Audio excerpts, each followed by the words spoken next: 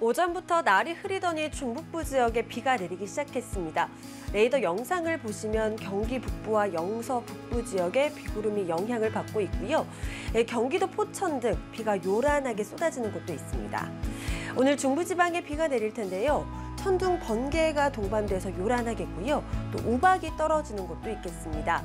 이 비의 양은 수도권과 영서, 또 충북 북부 지역에 5에서 40mm, 청- 충남과 전북에는 5에서 20mm가 예상되고요. 밤에 잦아들겠습니다. 그리고 밤부터는 전남과 경북 내륙, 그리고 제주도에 가끔씩 비가 올 텐데요. 양은 5mm 내외로 많지는 않겠습니다.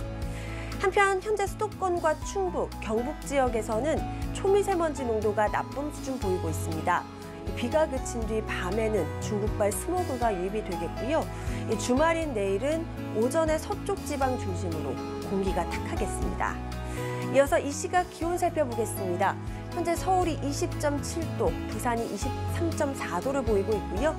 그 밖의 지역 세종시가 22도, 창원이 22.6도 나타내고 있습니다.